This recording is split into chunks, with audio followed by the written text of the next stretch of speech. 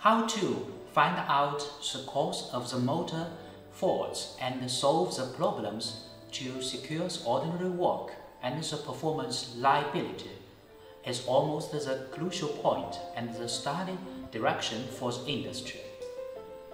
When we're looking at the integration of the motor control devices in the past two decades, the developing trend is from a single thermal relay to the integrated intelligent motor protection and control system era.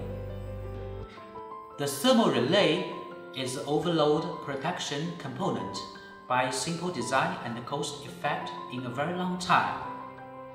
But the performance and the consistency of the thermal relay is not as stable as it is supposed to be by the limitation of the raw materials and the production processor. Furthermore, the thermal relay was easy to ignore that great amount of heat accumulation which caused by slight overload. In this regard, the aging of the motor winding insulation will damage the motor. As a replacement of the thermal relay, the simple electronic analog motor protector comes out with a microprocessor.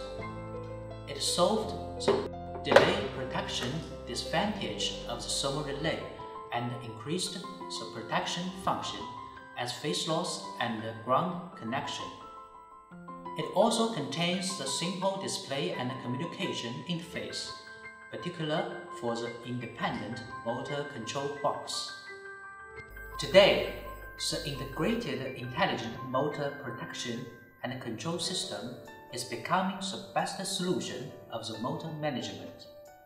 It has strong anti-interference ability, highly measuring accuracy, comprehensive protection, programmable control, friendly HMI interface, and multiple communication field bus interface, which makes the smart motor maintenance and management as possible.